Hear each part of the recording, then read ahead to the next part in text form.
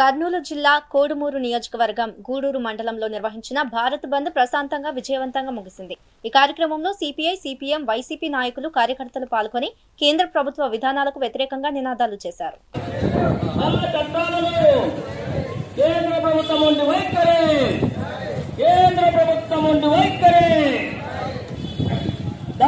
చేయలేని కేంద్ర ప్రభుత్వం ఉండి వైఖరి!